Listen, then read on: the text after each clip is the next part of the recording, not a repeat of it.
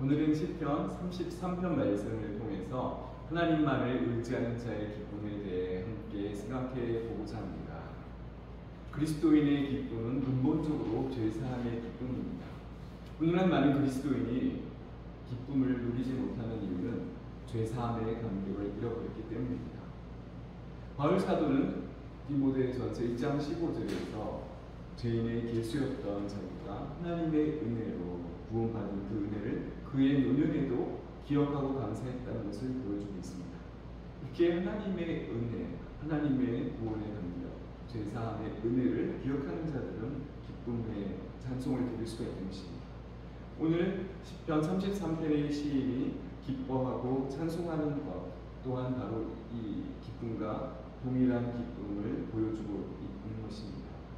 오늘 10편 33편은 1절에서 너희 의인들아 여호와를 즐거워하며 즐거워하며 찬송은 정직한 자들이 마땅히 할 바로다. 하나 여호와 하나님을 즐거워하라 그리고 찬송하라고 말씀하고 있습니다. 찬송의 기본적인 태도는 무엇입니까? 즐거워하는 것입니다. 솔기문답 제1문에서는 우리 사람의 제일 되는 목적은 하나님을 영화롭게 하고 그를 영원토록 즐거워하는 것이라고 했습니다. 이 찬송의 가장 기본적인 태도는 바로 즐거워하는 것입니다. 즐겁지 않은 찬송을 부른다는 것은 가식일 뿐이요. 그리고 그것은 온전한 찬송이 아닙니다. 그야말로 강요된 찬송인 것이죠. 이 찬송에는 기쁨과 즐거움이 있어야 하는 것이고 이 즐거움이 없이 감사가 없는 찬송은 하나님께서 또한 받으시지도 않습니다. 시편에서 오늘 말씀에서 하나님을 즐거워함으로 찬송할 것을 말씀하고 있고 더 나아가서 하나님의 성품과 위엄을 묵상하고 있습니다. 하나님의 성품 우리가 제일 먼저 생각할 수 있는 것은 오늘 시편 33편 4절에서도 말씀하고 있듯이 여호와의 말씀은 정직하며 그가 행하시는 일은 다 신실하시도다. 이 하나님의 말씀은 다 진실하고 여호와의 말씀이 정직하다고 했습니다. 이렇게 하나님과 말씀을 동일한 인격으로 고백하고 있는 것입니다. 하나님의 말씀은 정직하다는 것이 무슨 뜻입니까? 말씀하신 그대로 행하시고 이루신다는 것입니다. 또한 그 하시는 일이 하나님이 하시는 일이 진실하시다는 것은 별점이 없고 완벽하다는 뜻입니다. 이렇게 하나님은 그 행하시는 일이 진실하시고 완벽하게 별점이 없이 모든 것을 이루어 가시는 온전하신 하나님입니다. 이것이야말로 하나님을 찬송할 수밖에 없는 이유인 것입니다. 하나님을 찬송해야 할 이유는 말씀 그대로 말씀하신 대로 완벽하게 이루어지기 때문이라는 것입니다. 이러한 고백을 하면서 시인은 또한 하나님이 만드신 이 온 세상을 바라보면서 하나님의 인자하심을 충만하게 느끼고 있습니다. 그는 5절에서 고백하기를 공의와 정의를 사랑하신 하나님 하나님 여호와 이 세상에는 여호와의 인자하심이 충만하다고 그런 고백을 하고 있습니다. 우리도 이 시편 33편의 시인과 같이 하나님의 성품과 위엄을 묵상하면서 세상을 바라볼 때 이 세상 가운데 하나님의 인자하심이 충만함을 느끼고 있습니다. 어떻 게 이 세상을 바라보면서 하나님의 인자하심이 충만하다고 느낀다는 것. 우리가 그냥 육신의 안목으로 봤을 때는 어, 하나님의 살아계심에 대한 인정하기가 쉽지 않습니다. 그렇지만 우리가 하나님의 심판을 받아 마땅해 그러한 죄인들, 하나님의 심판을 받아 멸망되어서야 할 그러한 죄인들이 세상을 보면서 그렇지만 하나님이 이 세상을 붙들고 계시다는 것을 우리는 생각해 볼 수 있습니다. 이렇게 세상이 그런 하나님을 대하는 태도는 바로 경외함입니다. 하나님을 대하는 태도에 대해서 시편 33편 8절에서 말씀하고 있습니다. 온 땅은 여호와를 두려워하며 세상의 모든 거민들은 그를 경외할지어다. 하나님의 말씀 하나면 모든 서기도 하고 무너지도 합니다.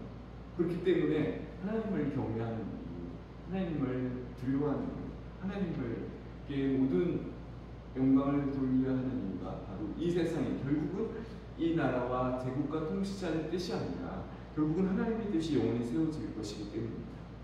이렇게 그때 하나님의 뜻이 세워질 때 그때 정말 복을 누리고 참는 기쁨을 누리는 자들 그런 자들은 어떠한 자들입니까? 12절에서 말씀하기를 여호와를 자기 하나님으로 삼은 나라 곧 하나님의 기업으로 선택된 백성이 복이 있다고 말씀하고 있습니다.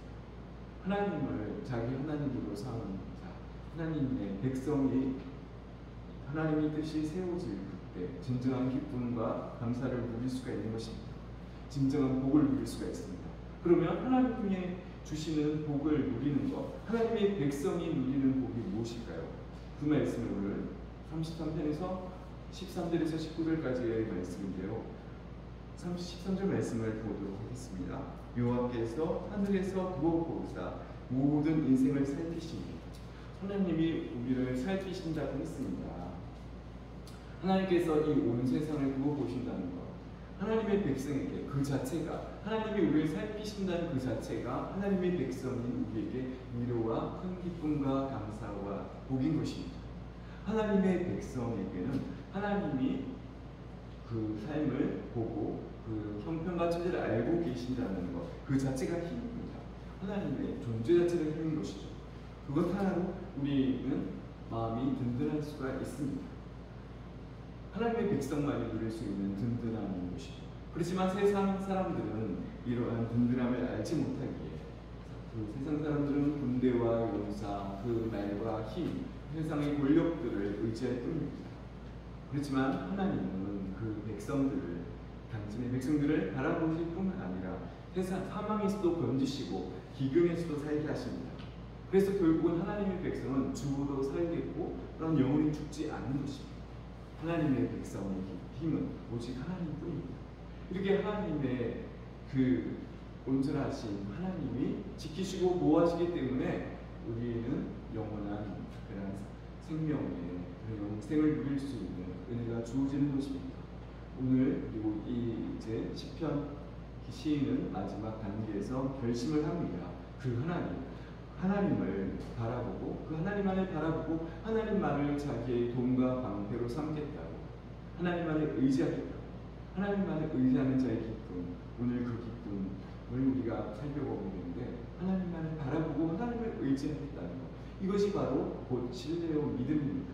하나님을 믿는다는 것은 오직 하나님만을 굳건히 그리고 유일하게 하나님만을 믿고 의지하겠다는 그런 고백인 것입니다. 이럴 때 진정한 참 기쁨이 흘러나옵니다. 이 시편 33편의 마지막 부분이 21절에서는 우리 마음이 그를 즐거워하며 하면서 마무리하고 있습니다. 하나님을 신뢰하고 의지하는 하나님을 즐거워하는 자라고 했습니다. 그래서 그러한 하나님을 신뢰하고 의지하면 하나님께서 주시는 기쁨을 얻게 됩니다. 이것이 바로 제 삶의 기쁨에서 나오는 그 기쁨에 이어서 그리스도에게 주어지는 그런 기쁨의 원천인 것입니다. 그러면서 이 시편 33편은 기도로 매적 마무리를 하고 있습니다. 마지막 22절을 제가 공독하겠습니다. 여호와여 우리가 죽게 바라는 대로 주의 인자심을 우리에게 베푸소서. 우리에게 하나님의 인자심을 주님의 은혜를 내가 주님만 바라보니 우리에게 인자심을 베풀어 달라고 하는 기도로 마무리하고 있습니다. 이렇게 이 시인은 이 기도에서 믿음의 순종으로 하나님께 나아갑니다. 오늘 우리의 기도는 어떠합니까?